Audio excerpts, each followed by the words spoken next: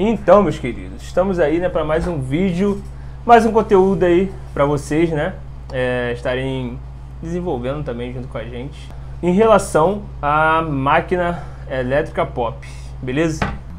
Máquina do Júnior quebrou, não fui eu que quebrei não. Entendeu? Ai.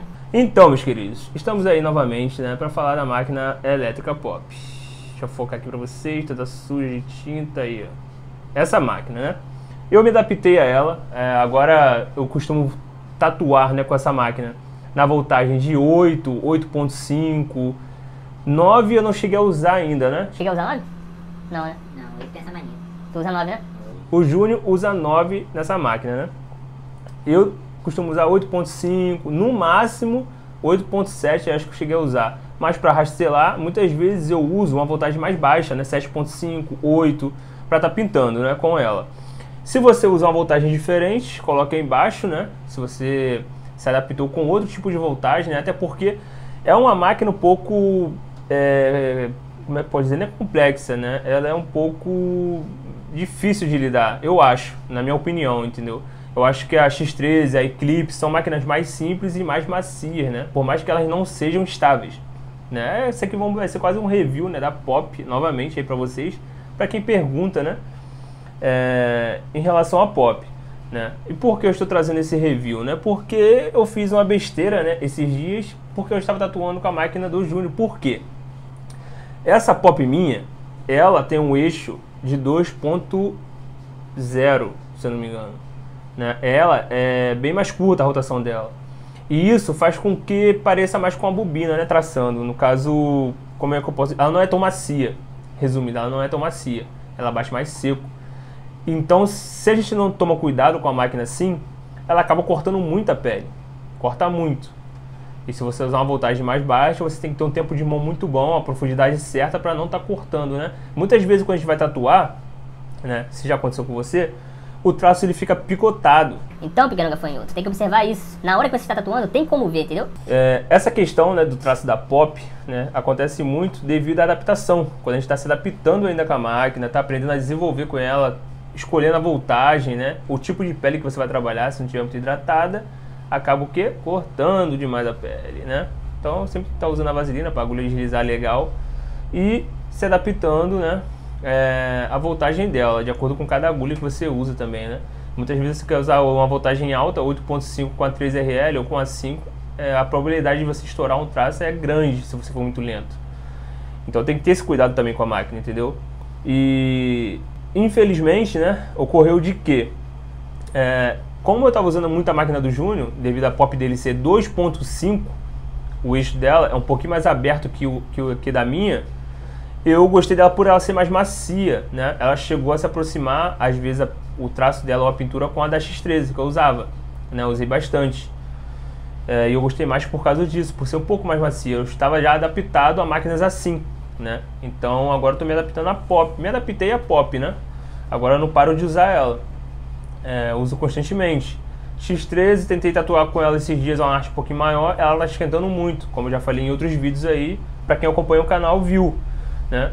Então, é, hoje em dia, né, como a gente evoluiu na arte, como a gente evolui, a gente também tem que evoluir nos materiais. É claro que quando o cara desenvolve as suas técnicas, ele vai trabalhar com qualquer tipo de material. Porém, a gente sempre busca evoluir tudo, né, no geral, não só nas técnicas, como também nos materiais, na qualidade do seu trabalho, na facilidade que você vai ter para estar tá desenvolvendo a arte. Isso é muito importante. Por isso que o material, né, é, conta muito, né, para você estar tá, é, enganjado ali no seu desenvolvimento.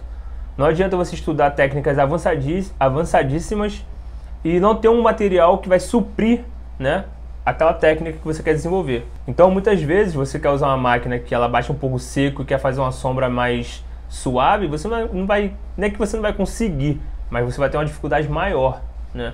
Então, isso é, é não estou dizendo que o material vai influenciar, mas a sua adaptação realmente vai, vai influenciar. Você vai demorar mais a se adaptar com o material, né?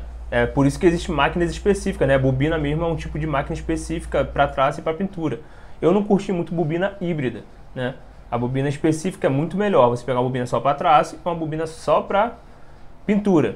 cheio de liner, ter as duas. Aí, show! Entendeu, meu parceiro? Aí você não vai ter questionamento. Mas aqui a gente trabalha com rotativas e agora com pen, né? É, e a pen é um sonho de todo tatuador, né? É, ajuda bastante. Muitas pessoas falam assim, ah... Mas o cara que é bom, ele tatua com qualquer coisa. Não tem isso. Faz uma maquininha caseira e faz, tatua. Beleza, né? Realmente, o cara que é bom, ele vai estar desenvolvendo com qualquer máquina. Mas aqui a gente está falando de evolução. A gente não pode ficar parado no passado, né? Essa máquina aqui minha, Pop, já tem uns 3 anos, eu acho que eu tenho ela, 2 anos. 2 anos e meio, 3 anos, por aí, quase 3 anos. A tua tem o quê? Tem nem um ano ainda, né? Menina, pô, tem nem um ano. A do Júnior não tem nem um ano, caralho. Falei, Júnior. Estuprou minha máquina, tá? Não pode falar essas palavras, né? Não. É, e abusou da minha máquina. Agora tem que botar aquela vozinha. Pra, pra não sair tua voz lá, pra besteira. É, né? Mas acontece. É, ele vai explicar pra você que ele é profissional, né? Ele manja do bagulho. E eu quebrei a tua máquina. A máquina é vagabunda! Então, galerinha, vamos lá, né? Vamos voltar aqui ao assunto. Essa máquina aqui minha, o plástico dela é bem mais rígido, cara. Bem mais duro, entendeu? É, realmente ela é bem mais resistente, né? Se você tem um assim, comenta aí embaixo. A do Júnior é esse transparente, né? Chama atenção? Sim, é uma máquina diferente. Você vê o motorzinho dela aqui dentro, ó. Tá sujo aí um pouquinho de tinta, né? Porque um parceiro nosso aí pegou a máquina e sujou. Mas Detalhes. é, detalhes, caralho, dos bastidores. Enfim, é uma máquina que chama atenção pelo estilo, né, da máquina ser transparente e tal. Só que esse plástico dela, né, não é tão resistente quanto a esse. Pelo menos foi o que aconteceu, né, em relação a, ao material aí comigo. Esse parafusinho aqui, ó, da Pop, a gente aperta, né, a, a biqueira, Quebrou, meus senhores. Isso mesmo, quebrou. Aí, ó. Queria saber se é a Electric vai me mandar outra máquina. Seria ótimo pra gente, né? Paulo Fernando ver esse vídeo aí e falar assim, coitado do menino, né? Vamos mandar uma máquina nova pra ele. Porque, né? Se tiver em falta, pode mandar uma pô. Viu, não? Aí, caralho, a gente ia rir à toa. Uma pena elétrica, caralho. Ia fazer marketing eterno. Então, meus queridos, é, o que aconteceu, né? Eu peguei essa máquina para tatuar, essa pop do Júnior, por ela ser mais macia, né? Vamos botar aqui o assunto sério. Por ela ser mais macia. E o que ocorre, né? Eu peguei ela por ela ser mais macia e eu, estava me adaptando, não é que me adaptando, né? Mas eu me sentia mais confortável trabalhando com ela. Só que chegou num certo ponto, né? Que eu estava tatuando e eu apertei aqui a, o meu grip, né? E eu tava tatuando, só que a máquina começou a vibrar muito, né? É, por quê? Aqui começou a ficar frouxo, né? Começou a, a ter folga. Provavelmente porque já estava trincado, né? Já, já estava trincando, na verdade. E eu fui tentar apertar novamente. Eu tentei apertar umas duas ou três vezes. Na, te- na verdade, foi nas duas vezes, né? Que eu tentei apertar. Na terceira vez que eu apertei, quebrou. Não deu uma segurada. E eu não apertei muito, galerinha. Eu só girei aqui, só pra dar uma travinha mesmo. Quando eu dei uma trava, aí, parceiro, aí, a tragédia feita. Quebrou realmente. é, deixa eu ver se eu consigo encaixar aqui pra vocês verem.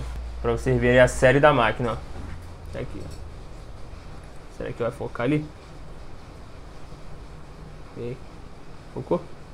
Pega esse número aí, anota vocês pra nunca mais comprar.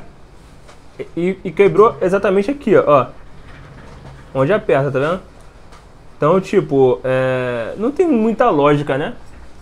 A máquina quebrar aqui. Por- até porque tem essa questão aqui da proteção, onde não deixa, né, ela fazer tanta pressão. Mas ocorreu, né? É, não sei se já ocorreu com alguém aí no canal. Se já ocorreu com você essa questão da máquina quebrar assim, comenta aí embaixo aí, né? O que, que você fez, se você colocou outra carcaça na máquina, se você tirou o motor, colocou em outra máquina, se você mandou para a elétrica, se, ela, se eles responderam, se eles trocaram para vocês o chassi da máquina, né? Porque realmente a máquina é nova, cara. Tem menos de um ano de uso essa máquina. Beleza? Ela tem menos de um ano de uso. A gente não achou a nota, né? Não achou a nota dela não, né? Cara, não, nem procurei pra te ser sincero. Não tá na caixa dela, deve estar na minha pasta de documentos. A gente não achou a nota, então não tem nem como entrar em contato com a elétrica para ver se eles poderiam fazer uma coisa pela gente, né? É, o motor da máquina tá ótimo, tá perfeito, não aconteceu nada com o motor. Realmente só foi só o shape aqui da máquina, né? Quebrou. infelizmente. A gente vai tentar resolver isso aí para estar tá voltando a tatuar com ela, né? Porque realmente é uma ótima máquina, né? É, eu gostei até mais dessa, né?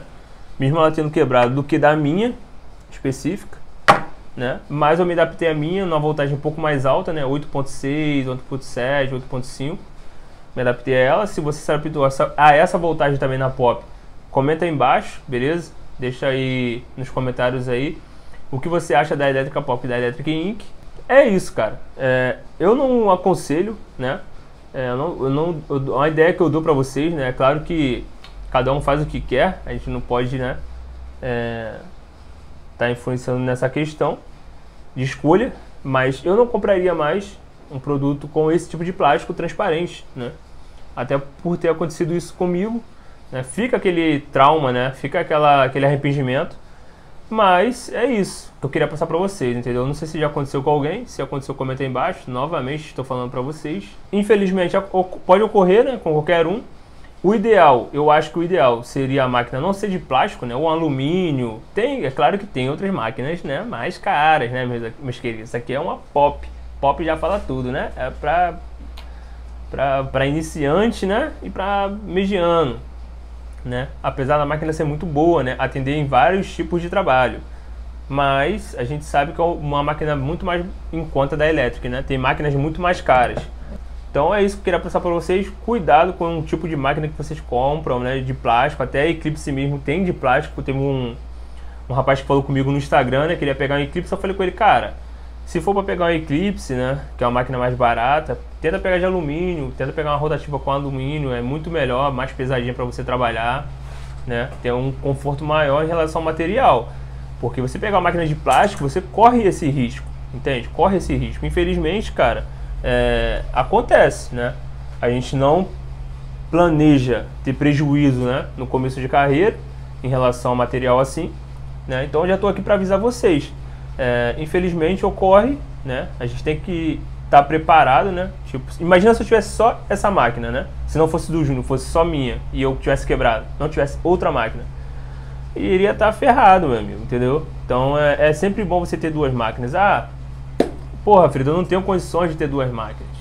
Cara, pega uma máquina de chassi de alumínio ou de ferro, entende? É bem melhor. Se você tem, né, como comprar duas máquinas, pode ser mais barata, né? Duas Eclipse, duas X13, duas Dragon, duas Pop, é muito melhor, é, você fica mais confortável, você trabalha com mais segurança. Porque se ocorrer alguma coisa com a máquina, você tem outra, né? Então é, é isso que eu queria passar para vocês. Essa, essa foi a tragédia que aconteceu comigo em relação a Pop, né? Nunca tinha acontecido antes com nenhuma outra máquina. Se já aconteceu com você, comenta aí embaixo, né? É, espero que esteja somando com vocês em relação a as adaptações da máquina, né? Como eu disse, fui bem superficial né, em relação a isso. É, só questão da voltagem mesmo.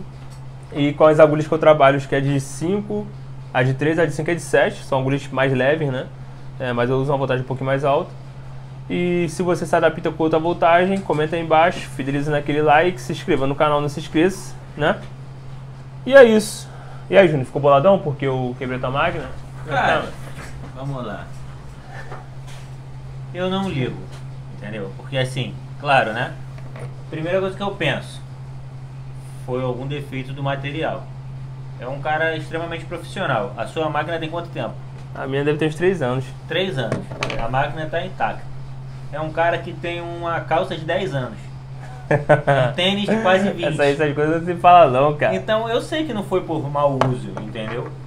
Eu sei que foi uma. Isso aí é pra comprovar pra você, né? Aí, ele tá falando. Que não foi mau uso. É uma máquina recente nova, não deveria ter acontecido isso. Verdade. Enfim, pode ter sido algum problema de, de, de, de série, de fábrica, né? Algum mau, mau, mau acabamento.